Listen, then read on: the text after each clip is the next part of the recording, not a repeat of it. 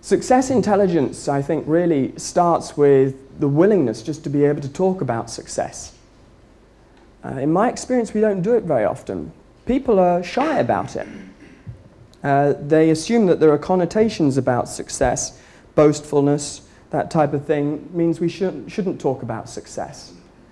Uh, when we are successful, you know, often we're working in companies which are what I would call a survival culture rather than a success culture.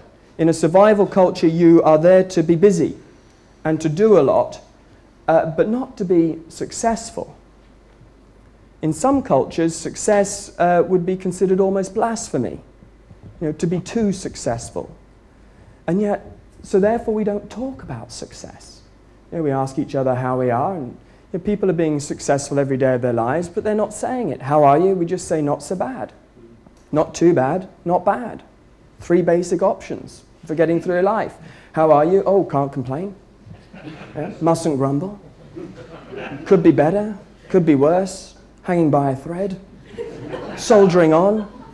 Keeping my head above the water. Surviving. Nothing is being communicated. We could be taking leadership positions in those moments, but instead, we are just, it's a non committal place. We're not being successful, we're not failing, we're just in this non committed place.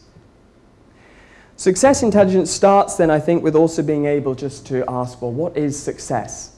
Let's keep that question alive for the whole of our life. Let's have moments in our day where we can reflect on what it truly means to be successful so that we don't always have to have awful wake up calls to begin a conversation that should actually never have stopped. What does it mean to be truly successful? We work hard at success often without working out what success really is. And success can be so full of constants and variables. Have you come across the uh, bell shaped curve and the theory of success. Bear with me for a moment. Let me tell you about this one.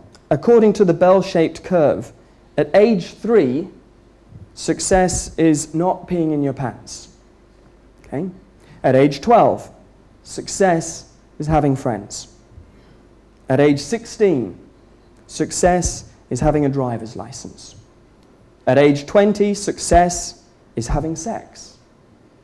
At age 35, success is having money. At age 50, success is having money. At age 60, success is having sex.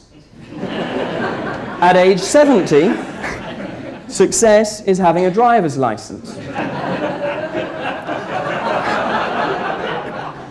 At age 75, success is having friends. And lastly, you're there, aren't you? At age 80, all of a sudden, success is not peeing in your pants again.